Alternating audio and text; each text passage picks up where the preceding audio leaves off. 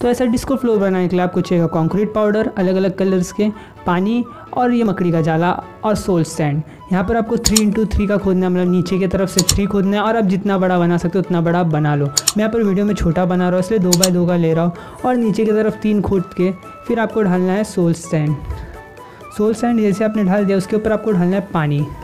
यहाँ पर मैं छोटा ही बना रहा हूँ क्योंकि वीडियो में बड़ा बनेगा नहीं। आप जितना मर्ज़ी उतना बड़ा बना सकते हो। जैसे आपने पानी ऐड कर दिया, फिर आपको मकड़ी का जाला लगा देना है। मकड़ी का जाली जैसे आप लगा दोगे, आपको इजीली मिल जाएगा मकड़ी को मार के। फिर यहाँ पर आपको कंक्रीट पाउडर लगाना उसके लिए आपको ऐसा यहाँ पर एक टावर खड़ा करना पड़ेगा। टावर खड़ा करने के बाद एक प्लेटफॉर्म बनाना पड़ेगा।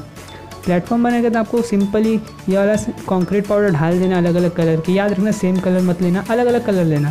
कंक्रीट पाउडर के भी थ्री फ्लोर बना लो ऐसे अलग अलग कलर के। जैसे ही थ्री फोर बन गया, उसके बाद फ्लोर को तोड़ दो बस और इजीली ये पानी में घुस जाएगा और आपका तैयार हो चुका है डिस्को फ्लोर जैसे कि आप देख सकते हो। और जितना मर्ज़ी चाहिए उतना बड़ा बना लो।